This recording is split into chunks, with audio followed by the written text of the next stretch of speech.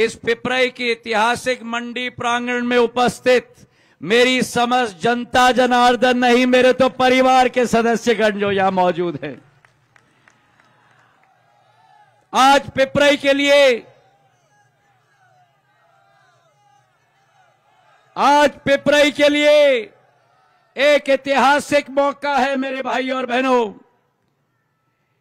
एक ऐसा मौका है जो इस क्षेत्र के इतिहास में स्वर्ण अक्षरों में रखा जाएगा। जब देश के गृह मंत्री, मेरे मार्गदर्शक, जिनका बर्दस्त और आशीर्वाद सदैव मेरे ऊपर रहा है, हमारे लो पुरुष सरदार पटेल, गुजरात की भूमि, गुजरात के मेरे, हमारे सपूत आदरणीय अमित शाह जी का मेरे पिपरई के माटी में दिल के आधार पर स्वागत है मेरे भाई और बहनों। ऐसी तालियाँ बजाओ, ऐसी तालियाँ बजाओ कि अमित शाह जी को अहमदाबाद की याद आ जाए। ऐसी तालियाँ बजाओ पिपरई की मंडी में। और तालियाँ बजनी चाहिए, बजती रहनी चाहिए। वहाँ ऊपर दीवार पर तालियाँ बजाओ।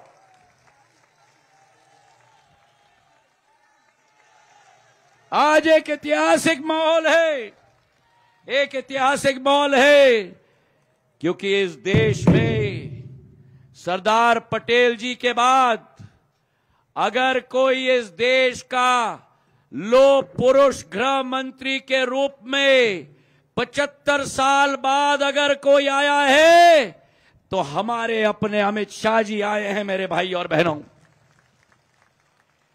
देश के आज़ादी के पचहत्तर साल बाद जो देश इंतज़ार कर रहा था, ऐसे ऐतिहासिक निर्णय की, जिसके किसी भी हिम्मत नहीं थी, केवल आदरणीय प्रधानमंत्री नरेंद्र मोदी जी और गृह मंत्री अमित शाह जी के द्वारा संभव हो पाई मेरे भाई और बहनों। जो श्यामा प्रसाद मुखर्जी जी का सपना था कि एक देश में दो विधान, दो प्रधान और दो निशान नहीं हो सकते। 370 धारा पूर्ण तरीके से रद्द करके कश्मीर को भारत का अभिन्न अंग बनाने का कार्य अमित शाह जी ने किया है। और पिछले पाँच सालों में जो भय का वातावरण, आतंक का वातावरण जम्मू कश्मीर में होता था प्रधानमंत्री जी के नेतृत्व में और अमित शाह जी के नेतृत्व में जो लोगों की हिम्मत होती थी भारत में आतंकवादियों को भेजने के लिए, आज वो लोग आटा के लिए तरस रहे हैं। जहाँ एक तरफ़ 370 रद्द किया, वहीं ट्रिपल तलाक जैसे कानून को रद्द किया। जम्मू और कश्मीर में एक पूर्ण अमन शांति का वातावरण तैनात किया और हमारी सहकारिता के क्षेत्र में भारत को विश्व पर नंबर एक पर लाने का कार्य हमारे अमित शाह जी ने किया है। अमित शाह साहब, यह भूमि सिंधिया परिवार के लिए बहुत भावनात्मक भूमि है। जब मेरी आजी अम्मा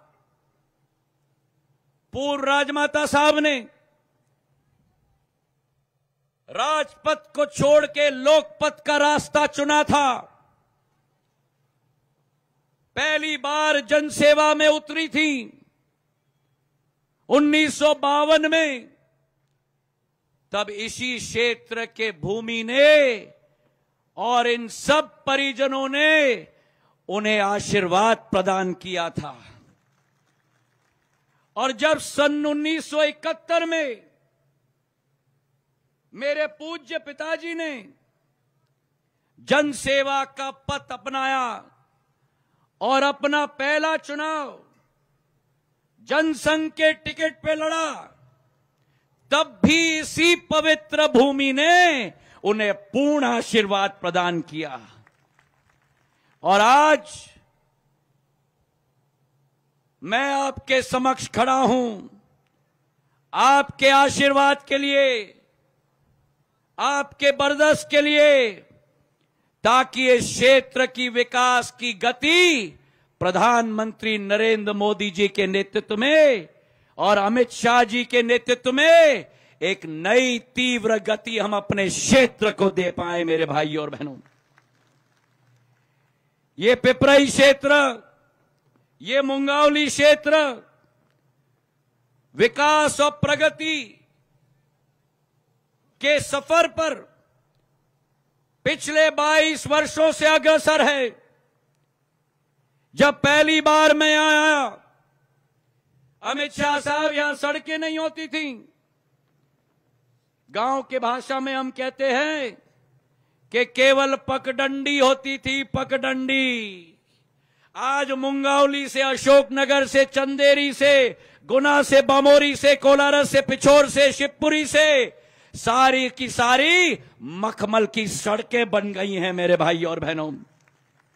मुंगावली से, पिपराई पिपराई से, अशोकनगर।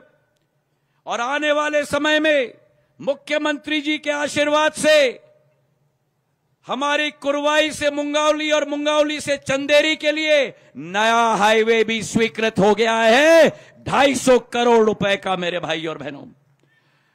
और यही पिपराई में जो एक तहसील के लिए मांग रख रही, रखी गई थी, आज तहसील स्वीकृत हो चुकी है पिपराई में।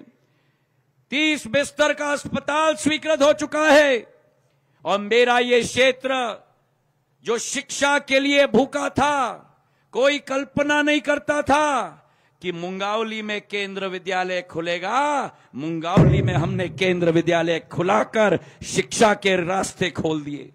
अशोकनगर में केंद्र विद्यालय, चंदेरी में केंद्र विद्यालय।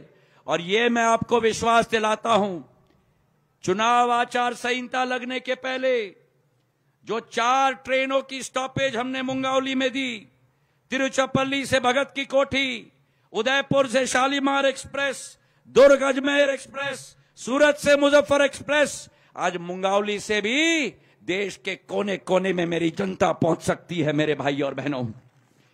आज ये ऐलान करना होगा इस मंच से कि प्रधानमंत्री नरेंद्र मोदी जी के नेतृत्व में, जो विकसित भारत का सपना है प्रधानमंत्री जी, साकार करने के लिए संकल्पित हैं। जिस देश में 80 करोड़ लोगों को राशन दिया जा रहा है, जिस देश में हर व्यक्ति के सिर पर घर देने का संकल्प, जहाँ पैंसठ वर्षों में केवल तीन करोड़ घर बने थे, पिछले दस साल में चार करोड़ घर पूरे देश में बना दिए। जहाँ एक एक देश के वासी के लिए आयुष्मान कार्ड दिलवा दिया पाँच लाख का स्वास्थ्य का सुविधा हर देश के वासी के लिए, ये मोदी की गारंटी है मेरे भाई और बहनों।